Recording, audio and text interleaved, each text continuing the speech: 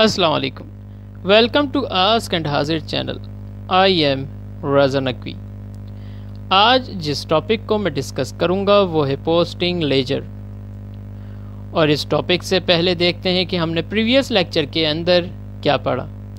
Previous lecture के अंदर जिस टॉपिक को मैंने डिस्कस किया, वो था लेजर थ्योरी इसका लिंक नीचे डिस्क्रिप्शन में दे दिया है। तो आइए चलते हैं पोस्टिंग लेजर की तरफ़। लेजर तीन तरह से मेंटेन किया जाता है। नंबर वन स्केलेटन या T shape form number two standard form और number three self balancing form आज हम देखेंगे कि टी शेप के अंदर किस तरह से एंट्री रिकॉर्ड की जाती हैं। जैसा कि मैंने आपको बताया कि लेजर के अंदर जितनी भी एंट्रीज रिकॉर्ड होती हैं या जितने भी हेड्स बनते हैं वो तमाम एंट्रीज जनरल जर्नल के थ्रू रिकॉर्ड होती हैं। यानी पहले हम जर्नल जर्नल मेंटेन करते हैं और उसके बाद उसी के ज़रिए से हम लेजर को मेंटेन करते हैं। तो इधर मैंने जर्नल जर्नल एंट्रीज ली हैं, जिसके थ्रू हम लेजर को मेंटेन करेंगे। तो आइए चलते हैं। सबसे पहले कैश के हेड को उठाते हैं और इसका लेजर मेंटेन करते हैं। जैसा कि मैंने बताया कि हम टी शेप फॉर्म को डिस्कस कर रहे हैं। तो हमने एक टी शेप बनाया, सबसे ऊपर कैश लिखा और अब हम जर्नल जर्नल की तरफ़ देखते हैं कि कैश की जो ट्रांजैक्शंस डेबिट साइड के ऊपर हैं, उसको हम डेबिट साइड पर रिकॉर्ड कर देंगे और जो एंट्रीज़ क्रेडिट साइड के ऊपर हैं, उन एंट्रीज़ को हम क्रेडिट साइड के ऊपर रिकॉर्ड कर देंगे। तो सबसे पहले कैश की ट्रांजैक्शन है one lakh rupees debit side के ऊपर।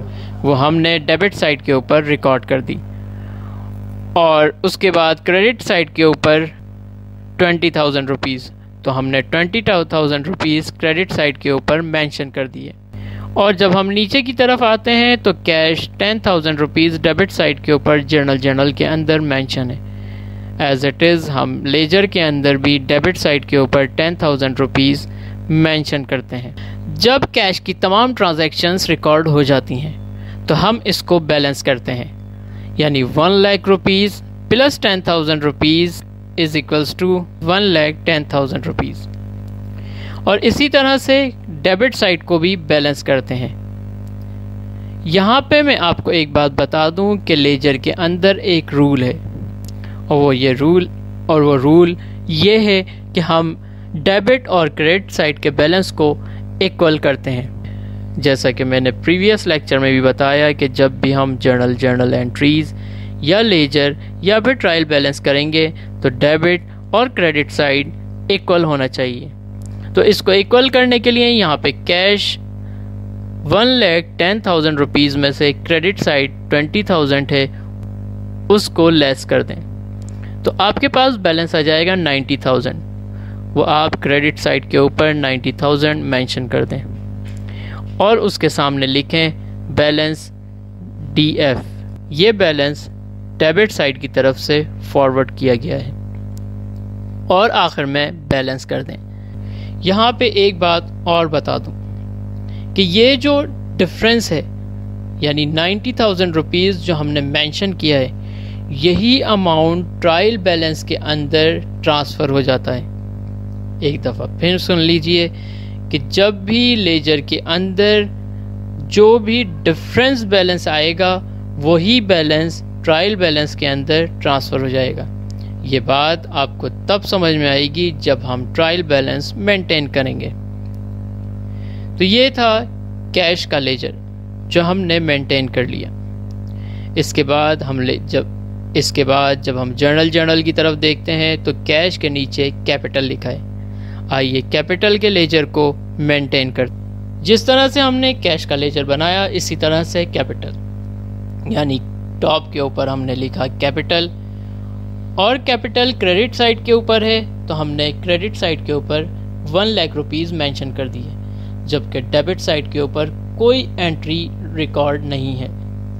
तो हमने बैलेंस के लिए डेबिट साइड के ऊपर वन लाख रुपीज़ लिखे और दोनों साइड को बैलेंस कर दिया। यहाँ पे मैं आपको एक बात बताना चाहूँगा कि जब भी एसेट्स और एक्सपेंसेस के लेजर्स बनाएँ तो सबसे पहले डेबिट साइड का बैलेंस आप प्लस करें। जबकि कैपिटल रेवेन्यू और लाइबिलिटी के अंदर क्रेडिट साइड का बैलेंस ज़्यादा आएगा। तो आइए चलते हैं नेक्स्ट लेजर की तरफ़। जर्नल जर्नल के अंदर जब हमने देखा जर्नल जर्नल के अंदर सबसे पहले कैश जिसका हम लेजर बना चुके हैं, उसके बाद कैपिटल उसका भी लेजर हम बना चुके हैं। और अब परचेजेस तो आइए परचेजेस का लेजर बनाते हैं। परचेजेस डेबिट साइड के ऊपर ट्वेंटी थाउज़ेंड रुपीज़ तो हमने सबसे टॉप पे परचेज़ लिखा और डेबिट साइड के ऊपर ट्वेंटी थाउज़ेंड रुपीज़ मैंशन कर दिया। और पूरे लेजर में देखा कि एक ही बार हमने परचेजेस की हैं। तो हमने क्रेडिट साइड के ऊपर भी बैलेंस के लिए ट्वेंटी थाउज़ेंड लिखा और दोनों साइड को बैलेंस कर दिया। आइए चलते हैं नेक्स्ट लेजर बनाते हैं। हमने कैश का लेजर बनाया कैपिटल का परचेजेस का, उसके बाद कैश की एंट्री आ रही है, फिर कैश की एंट्री आ रही है और उसके बाद सेल्स की एंट्री आ रही है। तो हम सेल्स का लेजर मेंटेन करेंगे। टॉप के ऊपर हमने लिखा सेल्स और सेल्स क्रेडिट साइड के ऊपर टेन थाउज़ेंड रुपीज़ है। Ten thousand rupees credit side के ऊपर मेंशन कर दिए। जब हमने उसे नीचे देखा तो हमने सेल्स एक बार फिर की हुई है, जो कि फाइव थाउज़ेंड रुपीज़ है। वो भी हमने क्रेडिट साइड के ऊपर फाइव थाउज़ेंड रुपीज़ मैंशन कर दिया। और इसको प्लस करके नीचे फिफ्टीन थाउज़ेंड रुपीज़ लिखा। जबकि डेबिट साइड के ऊपर हमारे पास कोई बैलेंस नहीं था। तो हमने बैलेंस करने के लिए डेबिट साइड के ऊपर फिफ्टीन थाउज़ेंड मैंशन कर दिया। यहाँ पे फिर मैं एक बात रिपीट करूँगा, जो मैंने अभी थोड़ी देर पहले आपको बताई कि जब भी एसेट्स और एक्सपेंसेस हम रिकॉर्ड करेंगे या उसका लेजर तो पहले डेबिट साइड का बैलेंस प्लस करेंगे। क्योंकि डेबिट साइड का बैलेंस एसेट्स और एक्सपेंसेस के अंदर ज़्यादा आएगा। कि जबकि रेवेन्यू लाइबिलिटी और कैपिटल में जब भी हम लेजर बनाएँगे तो क्रेडिट साइड का बैलेंस पहले प्लस करेंगे। यहाँ पे आप देख सकते हैं, यह है रेवेन्यू यानी सेल्स रेवेन्यू के अंदर आता है। तो हमने पहले क्रेडिट साइड का बैलेंस प्लस किया, और उसके बाद फिफ्टीन थाउज़ेंड रुपीज़ लिखा, और डेबिट साइड के ऊपर फिफ्टीन थाउज़ेंड रुपीज़ लिख कर हमने इसको बैलेंस कर दिया। आइए नेक्स्ट लेजर की तरफ़ चलते हैं।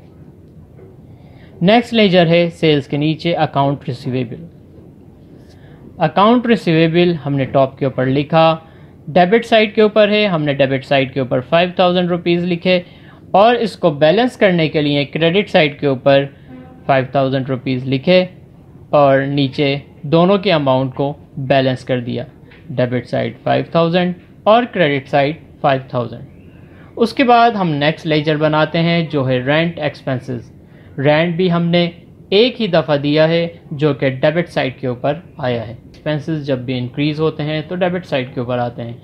हमने लिखा six thousand rupees debit side के ऊपर जर्नल जर्नल से देखकर, और इसको बैलेंस करने के लिए क्रेडिट साइड के ऊपर हमने लिखा सिक्स थाउज़ेंड रुपीज़ और नीचे डेबिट और क्रेडिट साइड को इक्वल कर दिया.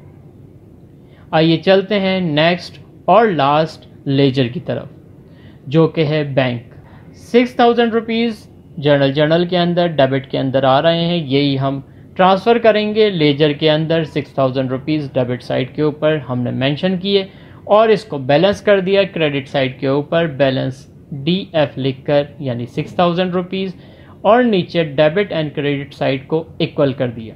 हमने ये जर्नल जर्नल के थ्रू तमाम ट्रांजैक्शंस लेजर के अंदर ट्रांसफ़र कर दी। ये था टी शेप लेजर बनाने का तरीका। होपफुली आपकी कुछ कुछ समझ में आया होगा। इस लेक्चर को आप तीन से चार बार जब आप देखेंगे तो आपको बेहतर समझ में आएगा। क्योंकि लेजर के अंदर बहुत सारी कन्फ्यूजन्स होती हैं। जब तक आप तीन या चार या पाँच बार लेजर नहीं बना लेते, जब तक आपकी कन्फ्यूजन्स दूर नहीं होती। अगर कोई भी प्रॉब्लम आपको हो तो आप मुझे कमेंट्स में मेंशन करें। होपफुली आपको ये लेक्चर पसंद आया होगा। अगर आपको ये लेक्चर पसंद आया हो तो लाइक और शेयर करें। शुक्रिया।